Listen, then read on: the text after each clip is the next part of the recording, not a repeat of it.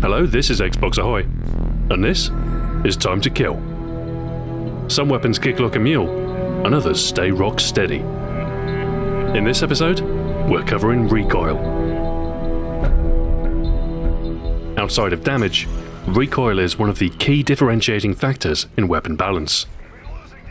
Guns with higher damage, magazine capacity, or rapid handling characteristics are more likely to have a greater degree of kick in an effort to preserve performance parity across the weapon selection. Recoil manifests itself as a disturbance in your aim when firing your weapon. Every shot fired will temporarily alter your point of aim, which may mean successive shots will land away from your intended mark. The amount of recoil a weapon has dictates the overall accuracy of automatic fire. Some weapons are able to put an entire magazine in a single target, whereas others might struggle to hit the broadside of a barn at any sort of distance. The recoil mechanics in Call of Duty are relatively complex, with quite a few different statistics governing the amount of weapon kick. And while you can simplify a weapon's performance to a simple statement such as low recoil or high recoil, to truly get an idea of a weapon's characteristics, you need to break down the recoil into its component parts. First of all, your shots will always land at precisely the indicated point of your sights. There's no random spread while aiming, nor does any recoil effect alter this. What recoil will do is move the location of your sights when firing, and thus alter the position of any successive shot fired. There are two key elements to this movement, one called view kick, and another factor called gun kick. The former has usually been the principal element of recoil's kick in Call of Duty. It's only in Modern Warfare 3 where gun kick has become more of a factor.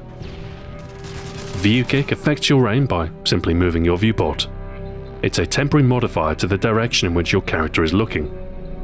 This movement of the camera moves your aim along with it, and the rapid movement of the screen serves to present a feel of the gun recoiling while firing. The view kick statistic comprises four values minimum pitch, maximum pitch, minimum yaw, and maximum yaw. Essentially, these four figures describe an area within which your view will jump to when firing your weapon. Pitch refers to the vertical element of recoil, and yaw to the horizontal. For every shot fired, a random point between each of the minimum and maximum pitch and yaw figures will be selected, and this vector will be applied to your current view on screen. For the most part, the effect is subtle, but view kick is cumulative, so successive shots may draw you further and further off target. The view kick figures determine the direction of recoil. When the maximum and minimum figures share the same absolute value, the view has an equal chance of kicking left or right in the case of yaw, or up and down in the case of pitch. However, when one figure is greater than its counterpart, the weapon will tend to kick in one direction over another.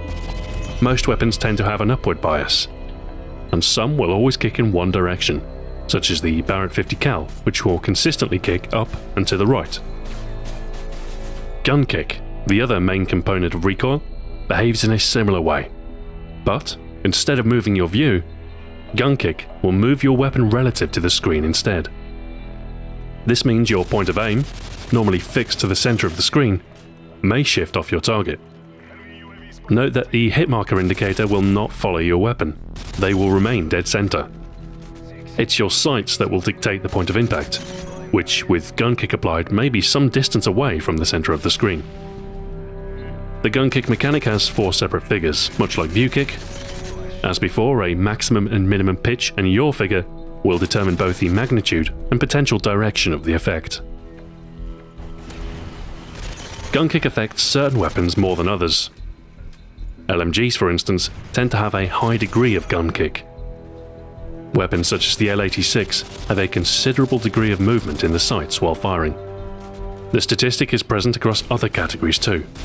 Some of the SMGs, such as the PP90M1 and PM9, also have a noticeable degree of gun kick.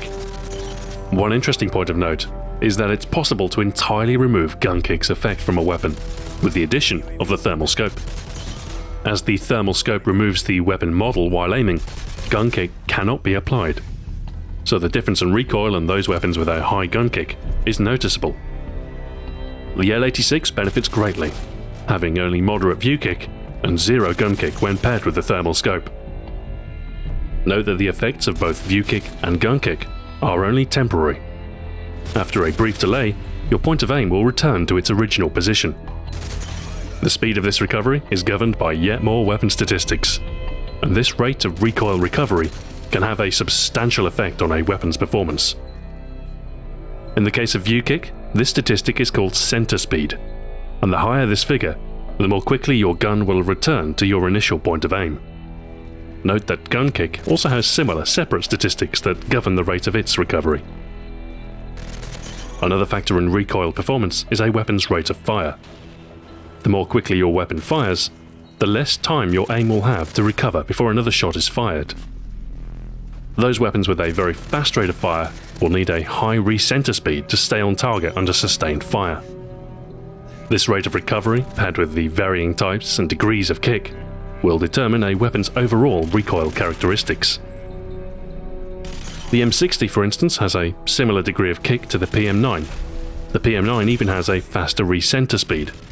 However, in practice, the M60 will prove more controllable with automatic fire, as the M60 fires 600 rounds per minute, while the PM9 fires much more quickly, at 1090 rounds per minute. It is entirely possible to adjust your aim while firing, compensating for the recoil. The slow fire rate and large magazines of the LMGs make them ideally suited for resting onto target whilst keeping the trigger held down. Some weapons might have a high degree of kick, but a very fast center speed. Such a weapon would be suited to firing in short bursts, allowing the kick to settle quickly before firing again. One such weapon is the G36C. With its moderate upwards pull, automatic fire can drift off target quickly. But, as it has the fastest recenter speed in the assault rifle category, burst firing is devastatingly effective in its potential accuracy. Conversely, a gun with low kick but slow recenter speed would suit automatic fire, but under sustained shooting would likely drift off target. One such example would be the Scar L, which has very moderate kick, but also has the slowest recenter speed in its class there are many other secondary factors that will have an impact on your weapon's recoil. Some may reduce its effects, and other factors may magnify it.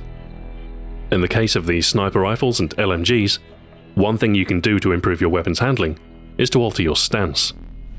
Such weapons benefit from a substantial reduction in the degree of both view kick and gun kick while prone, and have a similar reduced benefit while crouching. Lying prone in a defensive position will allow you to lay down impressively accurate fire with some weapons. Most of the LMGs become quite controllable full auto when employed this way. Similarly beneficial to your weapon's performance is the kick proficiency. This will reduce both the amount of view kick and gun kick your weapon has by 20%.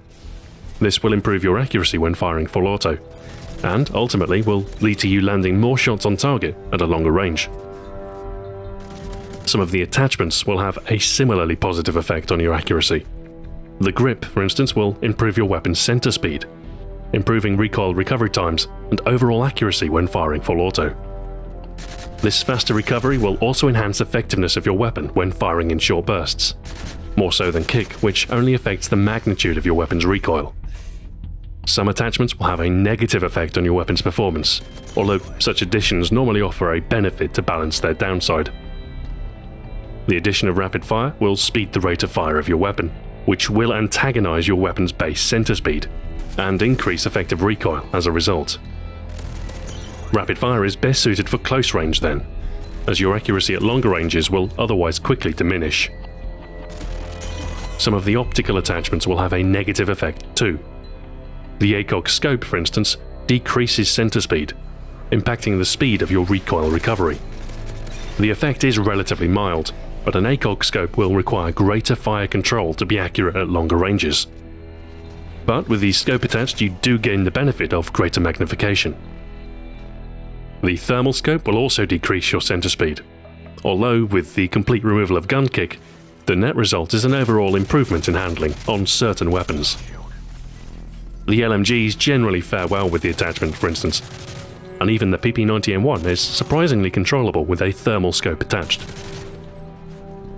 Note that, contrary to popular belief, attaching a silencer to your weapon will not affect recoil in any way. The silencer will, however, hide the muzzle flash when firing your weapon, which will reduce the flash's obstruction when firing, which may help your aim a little, and lends to the illusion that the weapon has lower recoil. Managing recoil is an important skill to master in Call of Duty. Doing so is really just a matter of developing a sense of the degree of fire control you'll need to exert to remain accurate. No matter your weapon, the distance from your target is the most important factor to consider. If your enemy is in the same room as you, you simply don't have to consider recoil. It's more important to get as much lead as possible in the general direction of said foe. Firing in short bursts will help ensure accuracy at longer range.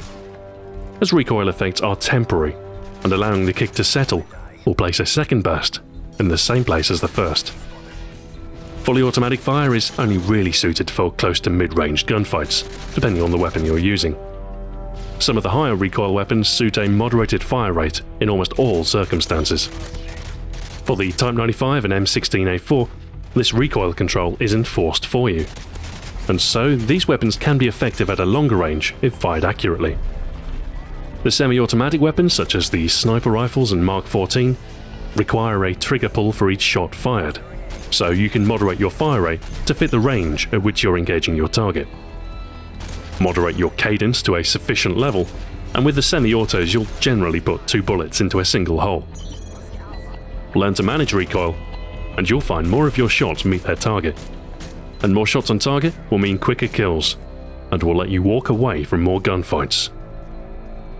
Should your weapon kick like a mule, learn to keep it under control, and you'll make it perform like a stallion. Thanks for watching, this has been Xbox Ahoy. Join me for the next time to kill, when I'll be covering the mechanics behind aiming in detail. Until then, farewell.